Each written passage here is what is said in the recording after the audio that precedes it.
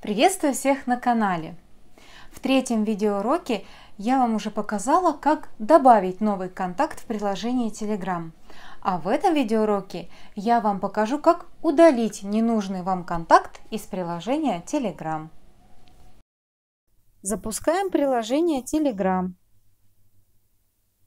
В левом верхнем углу нажимаем на три полоски на наше меню. Находим раздел «Контакты» и нажимаем на него. В открывшемся списке контактов находим тот контакт, который хотим удалить. Теперь на выбранный нами контакт нужно нажать. Нажимаем и открывается чат с данным контактом. Далее нажимаем на имя вверху правом верхнем углу находим три точки, нажимаем на них. В открывшемся меню нажимаем «Удалить контакт». Telegram спрашивает, вы точно хотите удалить этот контакт? Подтверждаем.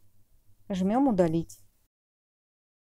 Будьте внимательны, перед удалением необходимо проверить, какой именно контакт удаляем, чтобы не удалить случайно не тот контакт. Еще важно помнить, что удаляя контакт из контактов в приложении Telegram, контакты, которые вы внесли в электронное устройство, не удаляются и наоборот. Этот контакт я удалила. Теперь возвращаюсь назад на главную страницу Telegram. Видим в списке у меня нет этого контакта. Теперь вы освоили еще одну функцию в приложении Telegram.